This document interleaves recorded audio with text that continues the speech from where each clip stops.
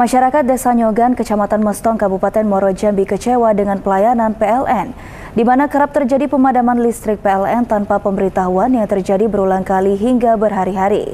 Pemadaman listrik ini pun membuat barang elektronik warga mengalami kerusakan, bahkan sudah empat bulan terakhir aktivitas warga di Desa Nyogan menjadi sulit dengan kondisi listrik PLN yang tidak stabil tersebut. Kondisinya rusak itu. Rusak. Warga Desa Nyonggan, Kecamatan Mestong, Kabupaten Muaro Jambi mengeluhkan seringnya pemadaman listrik PLN. Pemadaman listrik ini terjadi berjam-jam bahkan berhari-hari tersebut membuat perabot rumah tangga warga mengalami kerusakan seperti mesin cuci, kulkas, televisi, magicom dan juga peralatan elektronik lainnya. Perabot rumah tangga tersebut terbakar akibat listrik PLN yang kerap hidup mati. Pemadaman listrik secara mendadak ini telah dirasakan warga sejak empat bulan terakhir. Warga mengaku sangat kewalahan dengan pemadaman listrik ini. Mati lampu sudah jadi rutinitas Pak di desa kami.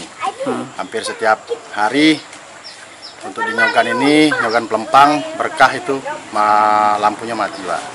Jadi kami masyarakat sangat mengeluhkan dengan pemadaman entah sengaja atau tidak kami tidak tahu Pak, yang pasti lampu kami mati.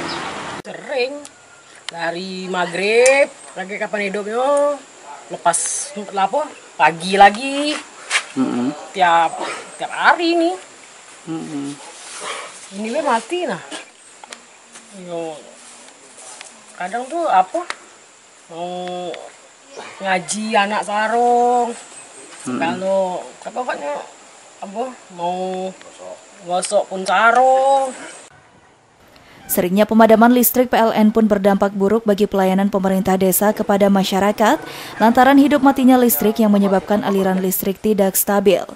Menurut pihak desa, pihak PLN tidak pernah memberitahukan jika ada pemadaman, padahal pihak desa sudah berulang kali melapor ke pihak PLN namun tidak ada jawaban terkait penyebab padamnya listrik tersebut.